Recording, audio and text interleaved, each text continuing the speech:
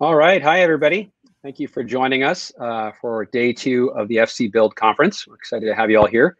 Um, we've got an awesome conversation for you uh, on uh, diversity. And uh, before we dig in on this, I just wanted to spend a moment to tell you about the FC Build nonprofit partner, uh, which will, re- will be receiving all of the proceeds for those of you who opened your wallets. Thank you all uh, over to, to, to spend on the conference over the last couple of days. Um, that partner is uh, Street Code Academy. It's an East Palo Alto based nonprofit with a mission to empower communities of color with skills, mindsets, and networks to use technology and innovation to enter the innovation economy. Street Code was founded in 2014 by Tunde and Tam Sobomehin, two dear friends of Foundation who uh, observed that some of Silicon Valley's most celebrated techies were completely disconnected from the communities of color, in many cases, just down the street from them. You had these beautiful Frank Gehry designed headquarters next door and Google 767s flying just a thousand feet over kids in East Menlo Park and East Palo Alto who had little or no access to the technology that these companies had so successfully brought into the world. So there were no laptops, no broadband, and no tech education. Now, this made no sense to Tunde and Tam, so they set out to solve this problem. And what started out as a grassroots movement to teach 20 kids how to code has now served over 4,500 students in the heart of Silicon Valley's lowest income communities, offering free tech classes to coding, entrepreneurship, and design. Now, as you might expect, uh, these communities have been particularly hard hit through COVID times, so we're especially honored to support their initiatives and efforts to help young, diverse uh, minds access technology and entrepreneurial opportunities and build a mu- mutually beneficial bridge between Silicon Valley's innovation economy and the underserved communities right next. Thank you, Street Code. Now, I'd like to welcome our speakers, uh, Sukhinder Singh Cassidy and Ralph Clark, and thank them for joining us this morning. Um, we know you both have a lot going on, uh, and we're grateful for your willingness to share your thoughts and insights. Now, by way of background, Sukhinder is founder and chairman of the Board List, um, which start she started in 2015 to help exceptional women leaders join private company boards. Sukhinder has also been a top executive and operator at several notable companies, including StubHub, Google, Yodlee, and Amazon.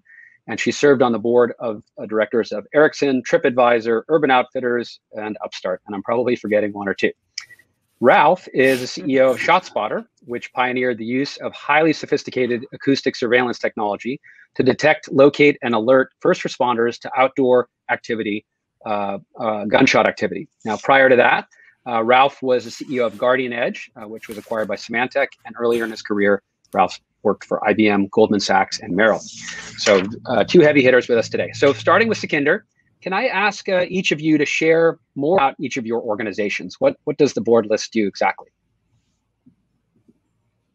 Uh, well, the board list is a talent marketplace uh, to find and nominate diverse leadership for board opportunities and at some point we'll expand that to executive opportunities as well. So it's really think of it as people often say is the board link board list like LinkedIn for uh, directors. It is, but it really has a focus on finding diverse candidates, which really include women and people of color, and connecting them with board opportunity and nominating great people to their first opportunities. Very cool. So you've been very busy as of late, I'm sure. But you've been working on this for a long time. yeah. The, board. yes, we've been at it for five years, but uh, 4x volume increase in the board list this year in terms of companies searching wow. for diverse board talent. That's great, great. And Ralph, tell us a little bit more about ShotSpotter. You joined, I think, what, 10 years ago now? Yep, 10 years. And first of all, thank you very much for having me uh, participate in this conversation. Um, uh, ShotSpotter provides acoustic uh, gunshot detection services to uh, police departments uh, globally, although we're heavily focused and invested here in the US where gun violence is a particularly uh, challenging problem. Uh, we basically combine uh, IoT, machine learning, artificial intelligence, and cloud based software to be able to uh, detect, locate, and alert on instances of uh, gunfire in real time with a high degree of precision. And what makes the service, I mean, sadly so compelling is that uh, gun violence is a lot bigger than most people realize. I think we tend to associate gun violence with homicides, but in fact, gun violence is much broader than homicides in fact, in many communities uh, where gun violence is ongoing and persistent, I mean, guns are fired uh, literally uh, morning, noon, and night. Sometimes they actually hit and hurt someone or kill someone, sadly. But I think kind of growing up in an environment like that, where you're put at risk, um, is uh, very challenging. And it's significantly underreported because it's become so normalized. in many communities. So 90, 95% of gunfire activity goes unreported in some of our most challenging communities. So that's the thing we're trying to address in getting cops the dot so that they can, if they're not encountering a perpetrator or aiding a victim, uh, they can show up in service in there to um, protect those communities from uh, gun violence. Great. Another important mission. So this past summer, I wrote a column for Forbes um, that was making the case for why diversity is disruptive. Uh, it's not just moral, but it's also good for business because it opens uh, doors to new markets and opens minds to new ideas. Um, that's just my thesis, but um, what's the case that you would each make for why inclusion is important for companies? Um, Sukhinder, if you wouldn't mind kicking us off. Well, first of all, I think you nailed it, so I'm not going to belabor the point. I think diverse thought drives uh, more innovative, you know, more innovative, I would say, kind of idea generation and decision making. And then, of course, it drives return on capital. So if you look at the most diverse companies, research again points to increased company performance. Um, but on top of that, and we often think about this, right? We have many constituents we serve now. We don't just serve shareholders. We serve, you know, customers of different types. We serve our employees, you know, and employees who increasingly demand environments that are reflective of who they are and feel inclusive. So if I think if you want a multiple time return on capital, not just return on invested capital for shareholders, but return on your talent capital and your customer capital, you, you know, you will emulate and create an inclusive environment for all of those constituencies. So yes, it pays off, but more importantly, you're managing a diverse set of stakeholders. Uh, and let's note them, they're all diverse. your customer base is diverse, your employee base is diverse, your shareholders hopefully are getting more diverse. Uh, that's another problem we need to solve. Uh, but yep. the reality is it makes sense for all your constituents. Amen to that. Um, I would imagine too. I mean, we were talking about uh, this a little bit yesterday, and one of the COOs mentioned how happy they are about the fact that talent markets, uh, now that they're not constrained to New York, Austin, Silicon Valley, and LA, now they're you know hiring great engineers in Kentucky and uh, Estonia and Everywhere. all over the world. And that diversity, I think, has been a really healthy change. Um, Ralph, how about you? What what is um what how would you make the case for inclusion at uh, ShotSpotter? Yeah, I, I think uh, you guys have made excellent points. I don't know that I can expand on it um, uh, really very much, but um, it, to me, it's so obvious that uh, diverse views and opinions are uh, better. Uh, you cover all your bases. And I think oftentimes when we have diverse talent um, and really understand the journey by which a lot of that underrepresented diverse talent comes to a company, um, just the skill sets they require to kind of get to that place where they're actually participating uh, in a company is hugely beneficial. Um, you know, they had to overcome many obstacles. Oftentimes, uh, they have to have a lot of persistence and grit. Again, they do look at the world um, in a very different way. And I think um, a lot of people show up with a very strong, um, I describe it as an empathy uh, gene, because I think oftentimes being uh, underrepresented uh, in, a, in a minority um, in kind of participating in this um, high tech um, economy, um, you have to read the room because you have to figure out. My mom uh, uh, has a great saying, you know, you you get in where you fit in. Um, and uh, so trying to figure out how to fit in and and understand how to read a room those are incredibly uh, important skills. And uh, i think companies can benefit from leveraging them. That's great points. So um, the risk of being mildly provocative. So you know i think about the extraordinary success that each of you has achieved ceo of a public company uh, board member of several other public companies and executives great roles at companies like google and goldman and amazon and ibm and to those who might say, well, hey, there's nothing holding either of you back, um, is there an experience uh, around discrimination uh, that stands out to you that you've experienced or witnessed firsthand that would help our audience kind of get their heads around the size of the problem that we're really facing here?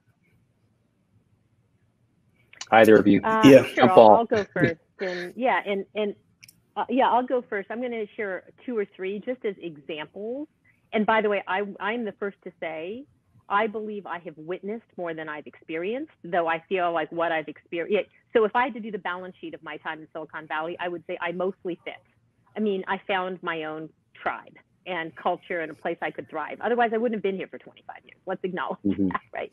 Yep. The converse is, you know, I've witnessed and been privy to um, acts of discrimination that are far worse on others than they are on me. But I'll just, you know, let me just kind of start. Number one, uh, I look pretty similar to all of you. My father wore a turban. My entire family wears turbans. I mean, I was from a visibly different minority in a small town in Canada. And I grew up often hearing towelhead, packy, like the list goes on, like all of these just racial slurs against my father, who's like the who's my hero.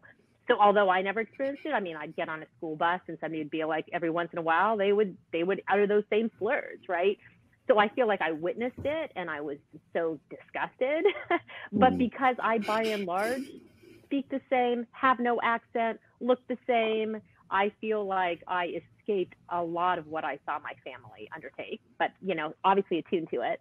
Um, and then as a woman and a racial minority in the valley, like as I said, mostly guys, I have found my tribe, but I would identify two points um, that I feel like I witnessed firsthand. One, I was on a board early in my career in the valley. I won't say which board, which VC, which group of people, but let me just say that I was in a boardroom where I was one of several Indians, right, who were executives in the valley and a uh, white male board member at one point when uh, a more junior employee came in to present a product, a product roadmap to the board, uh, left, and uh, one male white VC remarked, uh, "Fucking Indians can't speak any English." At which point I thought, "Oh my God, you understand? You are in a room full of Indian tech folks." And of course, like I was, you know, I was young. I didn't say anything it stuck with me. I mean, I remember all of us who were Indian leaving later and being like, did he really just say that? Wow. You know, and complain about this poor young product manager's ability to speak English when he was quite likely quite nervous presenting to a board. Uh, and then as a, as a woman in tech, I have mostly thrived.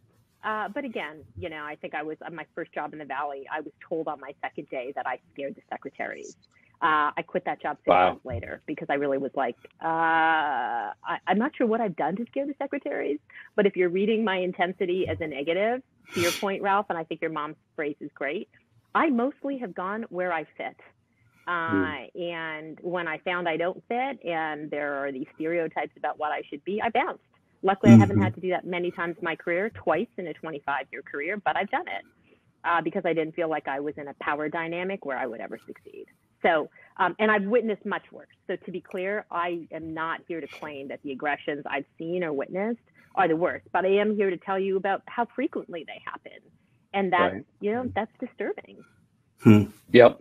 A lot of work to do.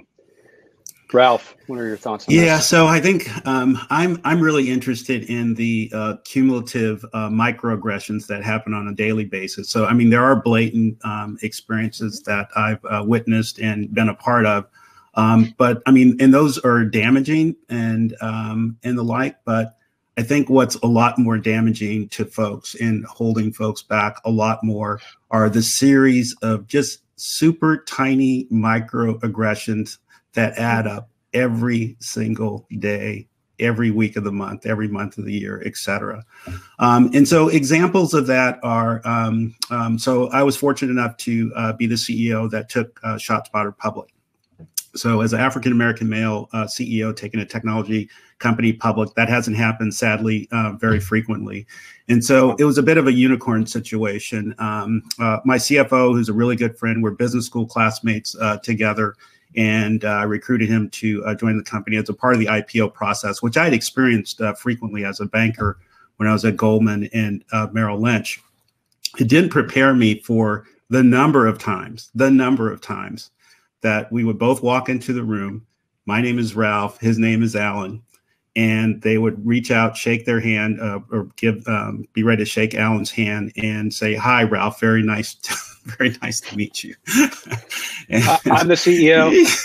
yeah, right. I'm the, I'm the CEO. I mean, and so you know you you you learn just to just move beyond that. Because i think one thing um, that a skill that you have to develop is just persistence and just not letting things get in your way or take you off track when you have a, a definitive goal uh, that you after. So you catalog it and you move on. But i think cumulatively i think when you have to catalog those experiences you, you it does take a toll i would say. And i think um and so Sukhinder you're super brave. I mean to hear your philosophy around like, hey, where you don't fit in, you just don't, you know, you retract. I think many of us we diminish ourselves in order to fit in a little bit. And. I think um, I think a uh, situation we all witness if you watch the vice presidential debates, and this is not meant to be political at all, but I think anyone paying attention, you could see how Kamala Harris almost had to shrink herself in a way and be so much more deferential to her opponent in that debate. And that's that happens on a daily basis. And I think when we get to the place in the world where people can show up and be their full selves and not have to shrink themselves or figure out how to um, you know fit in in order to get in i think we'll have made some accomplishments uh, i think we'll really have been accomplished and i'm i have four kids uh, three three daughters our oldest and I, I want her to be so bold and aggressive and ambitious and just not take no for an answer i mean and that's i mean i think she's going to live in that world i hope so professionally so that's well, uh, so great to hear. That I think uh, I just uh, sorry, I was just going to echo yeah. one thing, Ralph, that you said that I think is important. And I've always made this distinction because obviously there's the real world, you know, that we live in today and the world in which we all aspire. I think it is important to note that um, the places to your point, like although I say I've quit twice, the reality is throughout my career I've also adjusted many times, like you have, right? Mm-hmm. Um, not with the same frequency. I've certainly had the occasion where somebody thought the man in the room was, the, you know, was the CEO, not me, you know, or other or other like instances. But I do think, to your point, what has given me hope and what I've always thought is we don't all need to be perfect. It's hard, right? It's hard. We all have some biases of our own. I've mostly looked for where there is a values fit, diverse opinion and values fit. And when there is a values mm-hmm. fit, I largely feel like, okay, I can adjust my behavior because at the underlying core, I have enough in common with this person, you know, and I can find it that I am willing to adjust myself a little bit, right? Because if I, you know, if we're also militant, it's also hard to move forward in any of these environments, as you well know. And so you catalog, you adjust. And mostly, mostly, I still move through the world presuming that most people have good intention and mm-hmm. presuming that most people right that on any given day if i can find values fit then like you're right microaggressions drain uh, and mostly i still move through the world looking for values fit and a reason to believe that most people you know in myself included want to be forgiven for the things we get wrong and want to be able to learn and adjust and keep mm-hmm. going because i know i get a lot wrong too and mm-hmm. so uh, that's the only way I think you can make it now to that to the promised land, right, and still thrive. That's a good point. Have you, in your time in 25 years here in the Valley, Sukhinder, have you seen meaningful progress and specific changes that you that you think are to the good?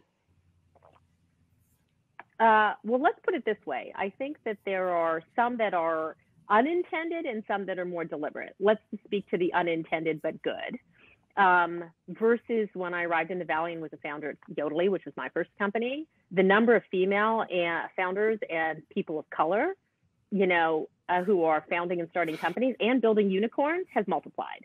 Now, people always point to the fact that on a percentage basis, it's not fast enough. I totally agree but they are visible examples and multiple examples.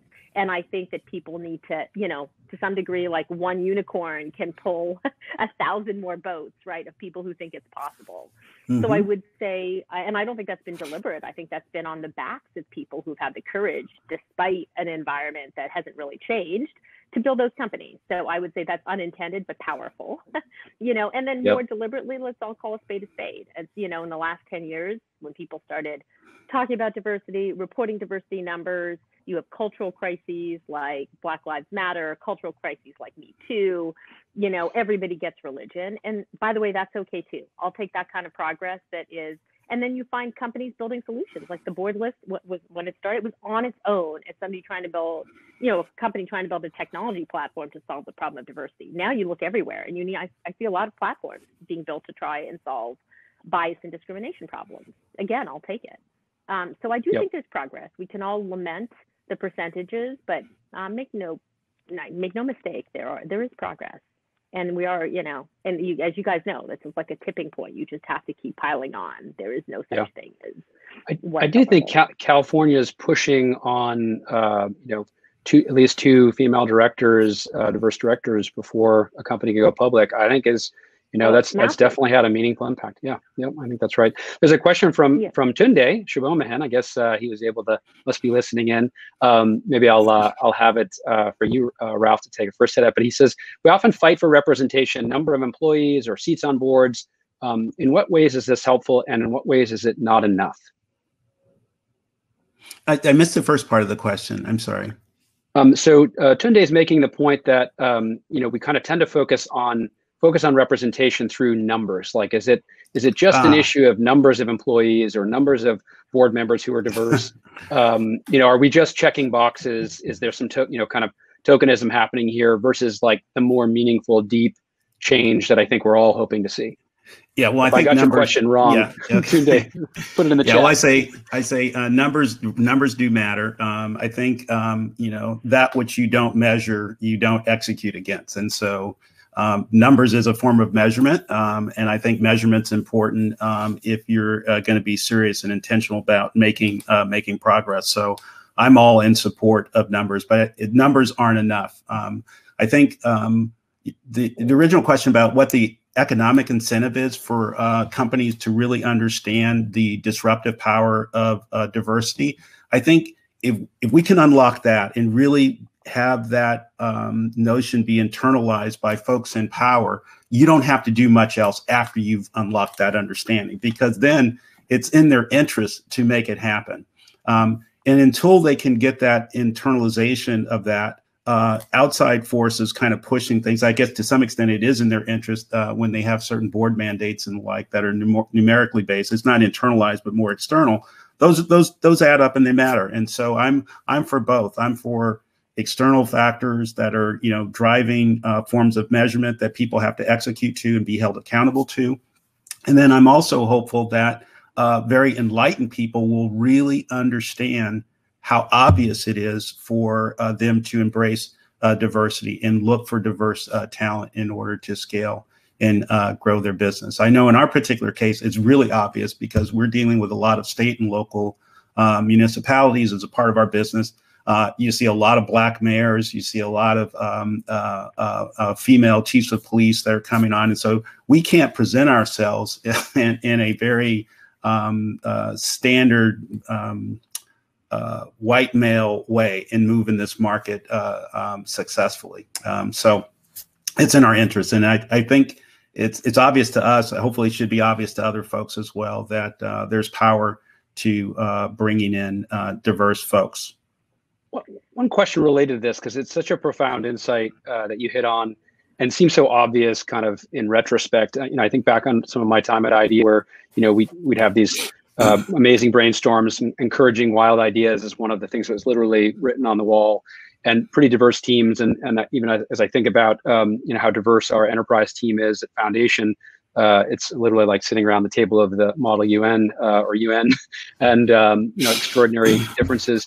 And I think you know the first your kind of first reflex uh, is to sort of you know is to maybe resist uh, differentiation, and then I think you know stage two is is accepting. Um, and I think this third kind of the most enlightened level is is like embracing it, seeing the power in it uh, that we get to different ideas. We, you know, there are things that we're discovering and talking about that we just couldn't have without those different different perspectives in the room.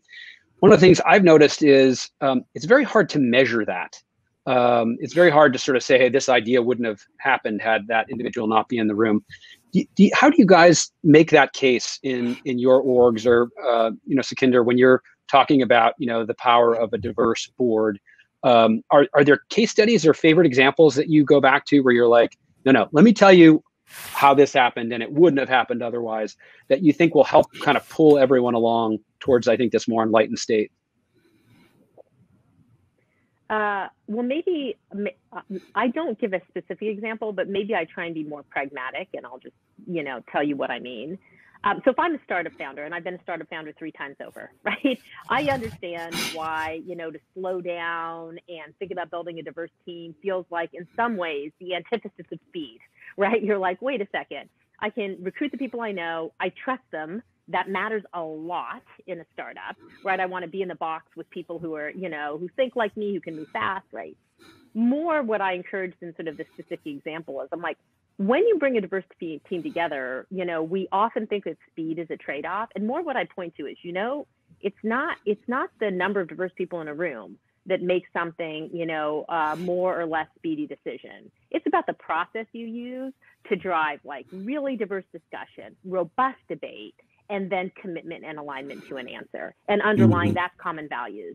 So I don't really honestly talk to people about, well, let me tell you about this time when we bought a diverse person and it changed the case. Mostly what I talk to my teams about, whether they're diverse today or diverse tomorrow, including boards, is like, you know what I really want? I want a speedy, fast, um, and really effective decision making process led with a lot of debate and diversity at the front end. And then I want to drive to a common output and I want to be in a tribe of common values. So I've shifted my talk from like, okay, here's what I think matters. You want to be in a room where like you look around and you and you are like, yes, we together have a similar sense of what's just and fair and good in the world. You know, we, you know, even if we're incredibly diverse. And then honestly, the more diverse the group, you know what I really want? I want a really well orchestrated way to take advantage of all of that debate and discussion and get to an answer quickly. So that's great. So the diversity, diversity so the diversity allows you to flare, get more ideas, but then the alignment allows you yeah. to focus. So it's this flare and focus kind of and, um, and with uh, speed. Uh, like, don't think of diversity as a trade-off for speed. That's the point. Like, don't think of diversity as a trade-off for hmm. speed. Think about how to build like a really awesome framework to get to decisions fast and take advantage of like the best and most debated, you know, thinking at the beginning. That's mostly what hmm. I think, honestly. Neat. That's cool. awesome. Um, question uh, uh, came over the transom as well. Uh, you referenced uh, Sukhinder the Me Too movement. Um, and of course, uh, here we, we've had a lot of BLM stuff as well happening. Um, the question is, uh, is Brotopia still around? Um, having read that book, I hope not, but I but I suspect the answer mm-hmm. is yes. Um, but what's your what's your, what are your thoughts on that? Uh, and I love Emily Chang. She's a, a, dear friend, and obviously has looked at this. So I think Brotopia is still around. Um, I'll tell you, there's some parts of that uh, have gone under underground, right? Because I think people understand that kind of we live in an era where these like visibly kind of ridiculous behaviors will undoubtedly get called out on social media or Twitter. So people, so I think, I think what you and I would like remember those oh shocked movements we had of like several years ago. Yes, is there a lot of fear of exhibiting that uh, on top? And it, it, you know, yes, because I think so. I think that order of behavior maybe is getting solved. Here's what I think isn't getting solved, and why I think Brotopia is still around. And this comes to sort of another opportunity I think the Valley has. Brotopia is also a form of passing around the best opportunities among a homogeneous network. So mm. let's think about things like the cap table, right? It's probably still true that, you know, if Brotopia behavior, you know, order 1.0 is like, you know, going to be shamed out, that what is still true is that networks, you know, pass disproportionate opportunity to their homogeneous and first order networks. So I still think Brotopia defined as, you know, is it kind of easier to pass a favor? Is it easier to hire? Is it easier to give more equity to? You know, is it easier to put on your cap table, you know, your first order? I hate using the word bro, but let's just call it homogeneous network. Uh, yeah, I think that version is still around. And to be honest, that's much harder to solve because it's not shameful behavior. It's like, you know, it's what's easy and feels right. But I would say, and I always talk about this, keeps possibility and opportunities fairly inequitable at mm-hmm. a much mm-hmm. more subversive level. Yeah, yeah. I think your cap table analysis, and I, you know, if you sort of just say budgets and cap tables, do they reflect our values and our goals? Uh, you know, I'm not sure they'd survive first contact with reality. I don't think cap tables um, would survive cap yes. tables will not survive it, including the cap table for your employees. Forget about who's funding you, even you yeah. know the distribution of your cap table. People always talk about equal pay. I'm like, let's talk about an equal cap table. Hmm. Yeah, you want to create point. wealth for everyone? You know, look at your cap table. That is where a lot of the wealth creation happens in the valley. It's not in your hmm. Neat. Wow. Um, so uh, shifting gears a little bit, and we talked a little bit about California's policy on diverse boards. Um, Ralph, do you have any specific policy recommendations for how companies, in particular startups, those, I mean, we have a lot of uh, the audience is, you know, literally going from zero to one. uh, getting this right from the earliest days, you're more likely to have a you know a more diverse uh, org down the line. But what are some of your recommendations, uh, whether they're policies or just guidelines for how companies can do better? Yeah, I'd say um, um, put yourself in a place of uh, being vulnerable and be uncomfortable reaching out to folks that you t- traditionally don't reach out to. Um, uh, I think uh, made a great point about um, people do what's easy um, they tend to associate and double down on their existing uh, networks. And I would ask people to really be aggressive about stepping outside of their comfort zone and uh, developing new networks and new relationships. There's a lot of resources that are out there to um, have people uh, be connected to folks that don't look like them. And they should embrace that as an opportunity to go out and um, make those relationships happen. Interesting. Has the yeah. fact that we've gone virtual over the last nine months made that easier or not really made a difference? Yeah, I mean, um, that's a good question. Um, I would imagine it's made it a lot more challenging uh, to do because it's it's even more difficult, I think, to try to figure out how to network with someone uh, digitally that maybe you haven't networked with before. It's probably a lot easier to meet for a cup of coffee somewhere in uh, Palo Alto than it is to uh, reach out through LinkedIn or something like that, someone you don't know at all, and just say, "Hey, I'm uh, I'm interested in uh, learning a little bit about your uh, journey and um, how we might um, uh, be able to collaborate and work together." So I don't know. I think it would be more challenging. Yeah, I'm struck by the fact that I think, and uh, Sukhinder, you said something similar to this before. There's something about recent recent times what I think has um, maybe increased our level of empathy. You know, like if if uh, one of your kids ran behind you right now, no one would do anything but think that's cool. like, but uh, a year ago, be like, oh, you don't have your life together. Why are your kids running through the back behind you? And um, and it's gotten a lot more soft and and I think human around sort of forgiving each other for you know like we're we're in our homes, we're all sort of struggling in different ways, particularly our friends who have kids that are less than six years old. Um, uh, but uh, but there's also this point that you bring up, Ralph, which is I think a really astute one, which is we're also kind of not snapping out of our networks. Like we kind of tend to do the things that we're familiar with, and I think um, figuring out how to um, how to do that and the tools, perhaps uh, technology can help in this way. Um, uh, so I, you know, I. I guess a question, and I, um, I, I would love to take more from the audience to the extent that folks uh, have them. But do either of you see um, a role for technology in lessening discrimination or improving the diversity uh, challenge in front of us? Of course.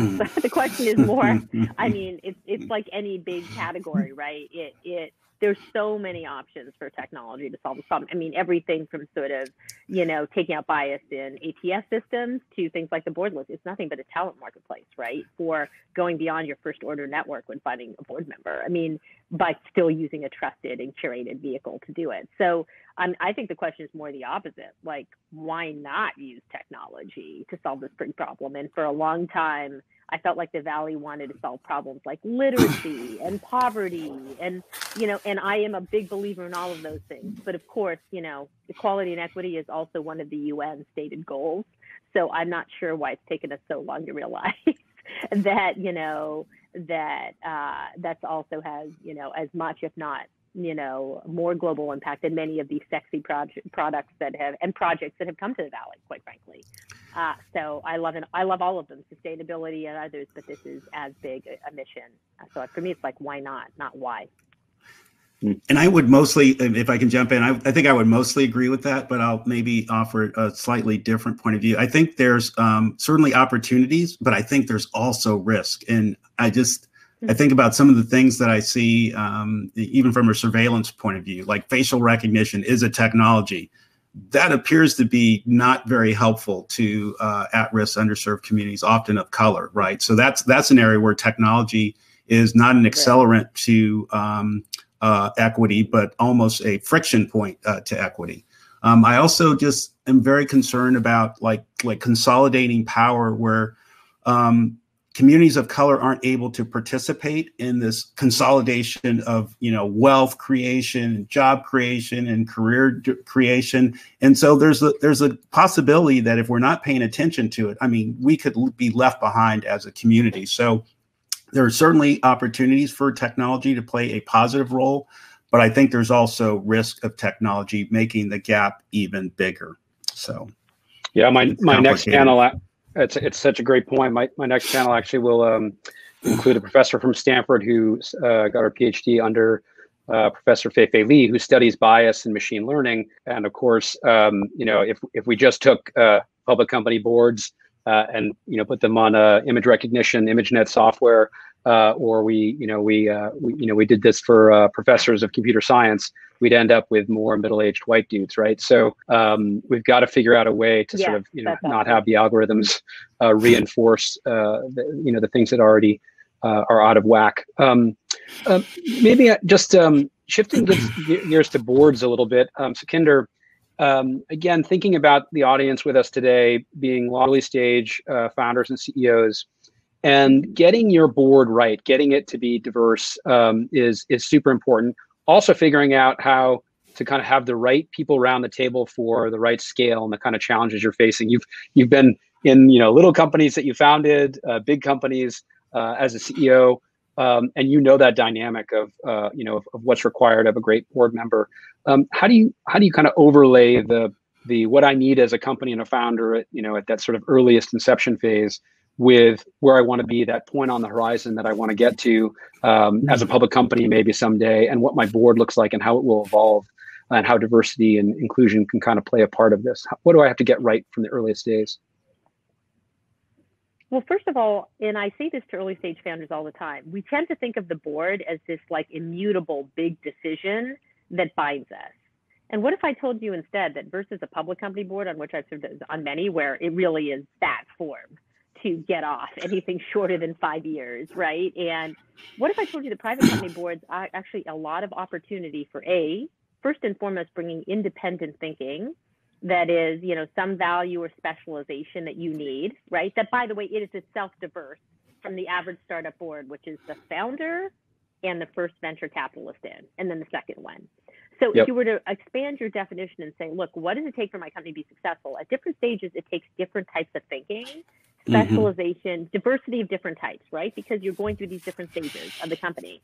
So I often coach founders. I'm like, think of adding board diversity early in your first independent and if you're afraid, you know, to be honest, I'd be afraid of making a board decision for five years. I wouldn't seek to make one. I would, I would be, I would take advantage of all the flexibility of being an early stage founder, and I might do my first board seat for a year. I might do it for two years. Guess what? That like lowers the risk of adding diversity to your board tremendously and lets you take advantage of mostly the upside um, because we mostly need diverse thinking early on in companies. And I don't mm-hmm. think we mm-hmm. want just an investor's point of view and the founder's point of view. Both of those people, like, right, we, I think we need the points of view that help create the most value for whatever company stage we're in. Um, and so I actually think there's far more flexibility in early stage board building than most founders uh, credit. And they're far more afraid of the downside. I'd be like, if it was me, I would go rent the mind that is not coming to join my startup right now because it's way too risky. and I would go rent that yeah, mind, yeah. you know, a year at a time or two years at a time because you will be able to attract, in some ways, better talent to your board until the time that you know you have magic product market fit and your numbers are all up and to the right and super fast. And even then, you could still, you know, think about board seats in two-year terms. So I think, yep. and and probably also expanding your the risk and, and probably expanding your advisor network as well. You know, I think there's, you know, folks Absolutely. I think tend to underutilize their advisors. Um, any any thoughts on this, Ralph? I'm going to take one more question from from uh, the audience after this. But any thoughts on kind of getting getting this right from day zero? Yeah, so I think um, although I'm not formally on the NomGov committee of our company, I think I've mm-hmm. operated as the one person uh, NomGov um, pers- committee uh, building out the board uh, from our initial uh, board members that were institutional investors in the company. And for me, it was just super intentional that we uh, bring uh, diverse talent on board. So uh, we have a seven person board, uh, including myself. Uh, three African Americans are on the board, uh, one woman. We will quickly um, add another two women to the board um, while not expanding the board. We were fortunate to get Marc Morial. on the board, he's a former mayor of New Orleans and now the president and CEO of the Urban League. Uh, Merline Saintil was a, individual that I networked with um, through you know African American networks that say, hey, looking for uh, someone that is technically uh, competent, um, uh, African American woman would be fantastic. And you start talking to some people, and she wasn't a part of my network, but I mean, she was two degrees away from me. We actually had a meeting in uh, Starbucks. Uh, I don't know if we would have been able to pull this off digitally, so this was prior, obviously, to the pandemic. Um, had a great had a great conversation. Couple more conversations. We had a couple other folks in the mix uh, there as well. And I mean, she just turned out to be an amazing uh, fit for the company. Um, in particular, for us, uh, particularly for us um, around the infosec issue, having been um, a board member on a commercial bank, just brought a lot of really interesting insight into kind of the infosec issues that a lot of board uh, uh boards are uh, dealing with. And then, you know, we had Bill Bratton uh, join our board. He's not a diverse candidate, but he's obviously very knowledgeable and well respected in policing. And then uh, we have our kind of institutional investors. And increasingly, I think, Sukhinder, you made a great point about how uh, companies evolve and the type of um, experience that you need around the table at stage one isn't like what you need at um, you know stage four or five or whatever. And for us increasingly having a um, institutional investor venture capital point of view on a public company board is becoming less and less. Great guys love them they've really helped get the company to where it is now but you know the value that they provided in the early days uh, of the company isn't the same uh, that um, we really yeah. need to lean on as a public company. So that, we'll see some of those transition off and then we'll replace them uh, with uh, some female board uh, directors so. Very good. Um, i'd love to hit one question that came over a couple minutes ago from nitya um, which is what level of activism and advocacy should companies take up to change systemic racism related to question uh, is ESG a bigger part of the board conversations these days? Maybe the first part of this, you know, is a, a, a pretty spicy topic over the summer with Coinbase. Uh, its position on. I'm, I'm curious, uh, Sukhinder and Ralph, kind of where yeah. you come out or what what you've advised uh, of, of, your companies and, and and the entrepreneurs that you advise. Uh, go ahead, Ralph. yeah, yeah, yeah. So, um, you know, that was really interesting uh, to me. I, I don't know that um, I would go that far personally, and and maybe just because again, um, you know who I who I am, what I represent. I mean, I I I, I get I get the point. I don't know using the uh, public company platform is necessarily appropriate in that in that way. Is, is my is my opinion. I, I would say though, and this is maybe back to the to the question of diversity, how how important it is. So when um, we saw Black Lives Matter and defund the police, it's really interesting um, having uh, when I think about our board and just watching the body language when these topics are coming up because we're in the business of supporting policing. How um, myself, Marc, and Merline, um, and not to put them on blast, our reaction to Black Lives Matter and defund the police is very different than maybe a white male's version of it, right? To me, it's not as scary. I get it. I understand Black Lives Matter. I, I understand the point. I don't even understand defund the police didn't get me particularly excited because I knew exactly what the true sentiment of defund the police was. It isn't about technically defunding the police for most people. It's about reprioritizing how policing gets done in right. at-risk underserved communities. It's pushing back on the notion of being over-policed and underserved. And having that perspective is unique i think because i'm black i just i just i hear that in a different i hear that in a different way so it's interesting kind of talking to folks uh, not only on the board but even in our customer constituency they hear it very differently when they hear defund the police i mean they start their hair starts yeah. setting getting set right. on fire and it's like it's not it's not about that and just the discussions around that now i imagine if that board were uh, homogeneous the set of decisions and the responses to mm-hmm. the whole defund the police would be very, very, very different. They would have right? missed it altogether. Probably, yeah, they would have missed it all. We would have missed it altogether. Uh, we would have uh, made different bets, different investments, and different positioning and the like. Um, I viewed it very early on. I said, "This is going to be wind at our back." This is not wind in our face this is wind in our back. And it's like well wait a minute translate i mean translate that. And so it was interesting um, having that perspective and being able to translate it. And sure enough i mean you're able to see you know again the diversity can help you see around corners and um, uh, cover blind spots. And i think we would have been blind to this to this particular issue. Because again you know fast forward six months from now we definitely see that defund the police isn't technically defund the police. It's more around reimagining policing holding them accountable to serve and protect versus overlord and occupy and the like. So anyway, yeah. that's uh, of, of the of the three word slogans out there that might have been the worst one of 2020. Um, but, but, anyway, Sukhinder, what are your thoughts? What do you advise when you're sitting on these boards and people are asking this question of, do we get to talk about this as a company? Yeah, so a couple things. Uh, first of all, to answer quickly, is ESG a part of every board conversation? The answer is it is. I mean that. I mean it can't not be if you're if you're a board member. But let me take maybe the first part, and then I know we're about wrapping up. I want to separate out two concepts. Number one, you have a constituent on your in your companies, your employees who want to be active on topics and self-express. You know that is one form of activism, and I think every CEO hopefully comes to their own you know view, but generally speaking, we live in a world where our employees want to bring them full their full selves to work, right? This is inclusivity at its best. And that right. includes expressing the causes they care about. There's the company being supportive of that. That's one level of what we would call activism, but I would just mm-hmm. say it's the new norm. Mm-hmm. And then there is employees' expectations of the value systems of the company and its stance on activism you know and i think that mostly look not to get into the coinbase debate in, in detail mostly what i believe is employees want to understand what the value system is of the entity right? And how that correlates or not to you know the things they yes. believe. And, and then they can choose whether to be a part of it or not CEO. yeah. Yeah. Or not yep, right? exactly right. so i think that yep. i think the new call on the new new age ceo is like hey what is our value system as a company? What are we going to stand for or not and then there is the layer of like look we live in a world where people want to bring their full selves to work and at least be right. free to express and share their ideas on topics they're passionate about in their community with other like-minded individuals at their companies that's part of their yep. community too Yep, yep. Well, I'm going to let that be our last word. Um, thank you both, uh, Ralph and Sukhinder, for making time, uh, knowing how busy you are. I know this audience is really appreciated. There's two more questions that we didn't get to, but uh, I guess that's just proof that we're uh, we're, we're not done yet. Um, but uh, really appreciate it, um, and uh, I'm grateful for time. And again, thanks to our friends over at uh, Street Code Academy for all you guys are doing. So anyway, all right, thanks everyone. We'll see you at the next panel. Great, thanks, Steve. Yeah, nice meeting you, Sukhinder.